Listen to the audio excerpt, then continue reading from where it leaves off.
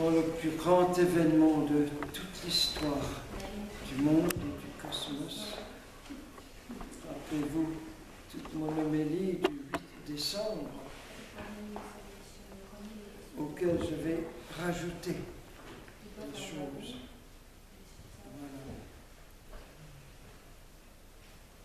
Comment est-ce que tout cela se fait? L'Esprit Saint va descendre sur toi.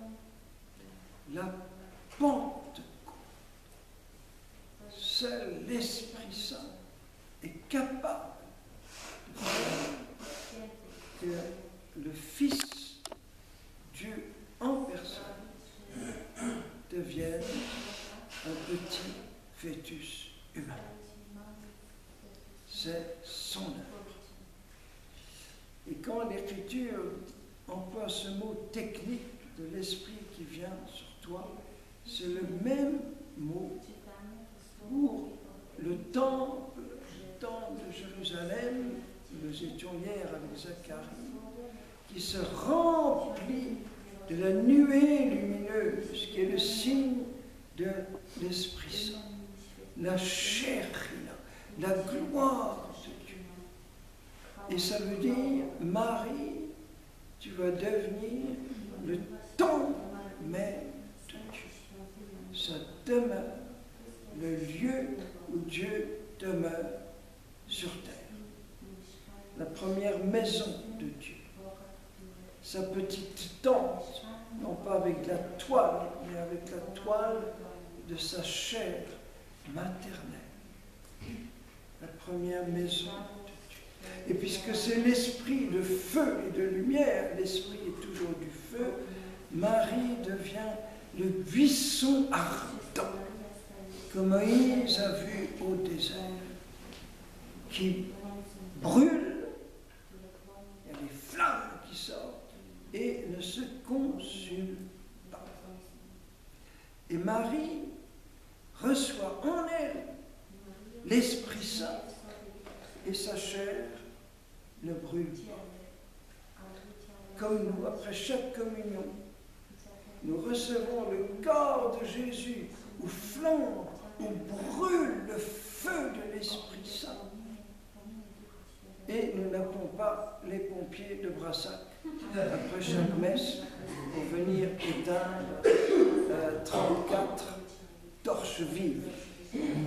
Donc, après chaque communion, je suis miraculé. C'est un miracle qu'on ne prenne pas feu.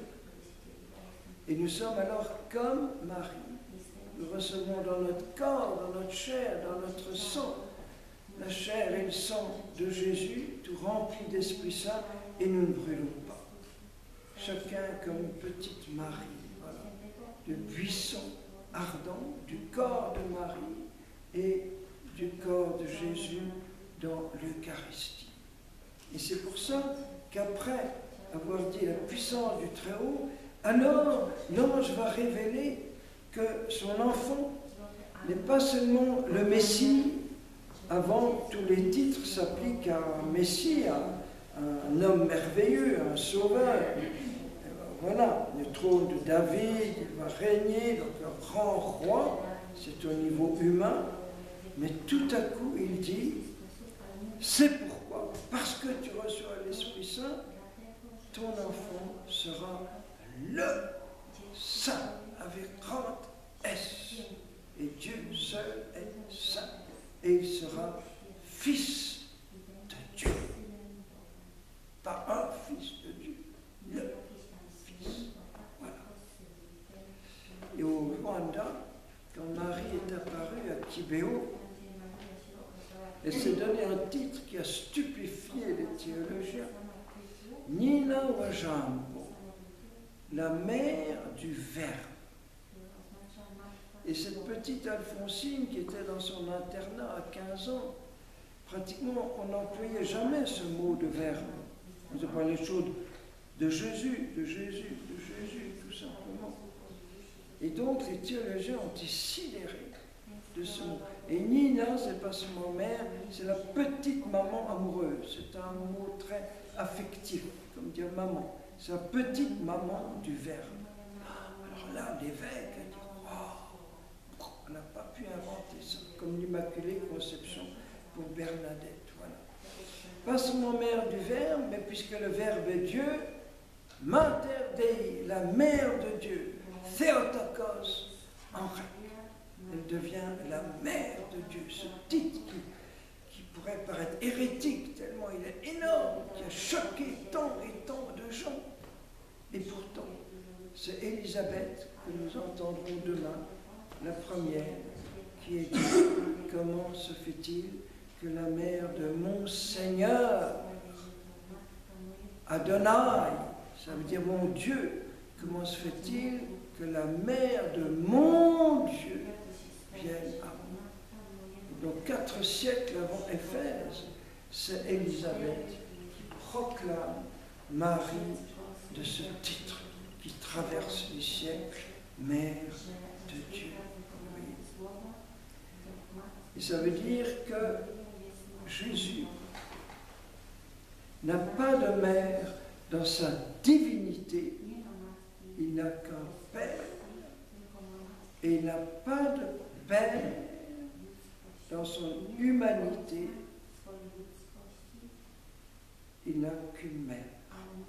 Sur terre, en tant qu'homme, il n'a qu'une maman. Et au ciel, en tant que fils, il n'a qu'un Père.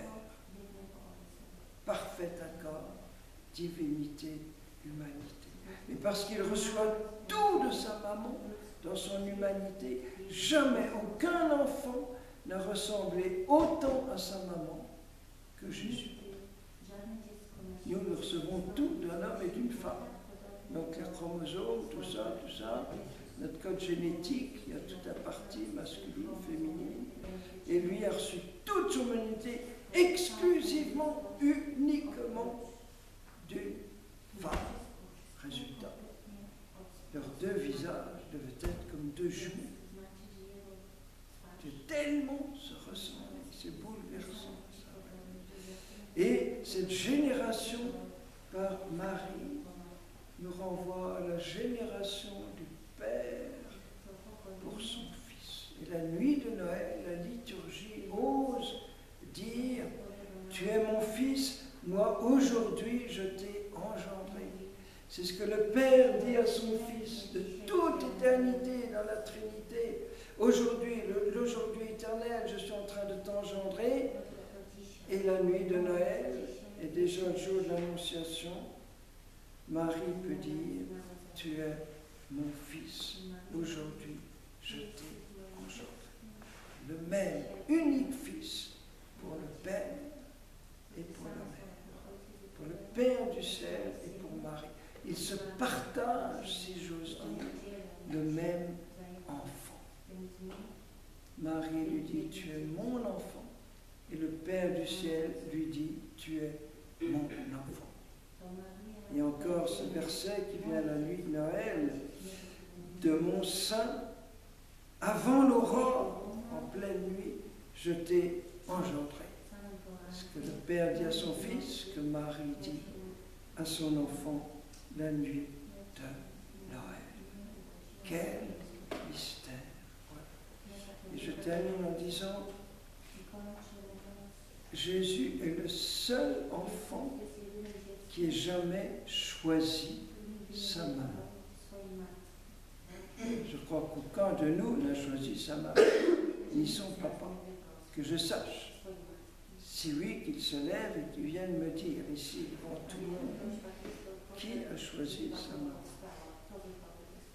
Eh bien Jésus, le seul, puisqu'il préexiste à sa maman.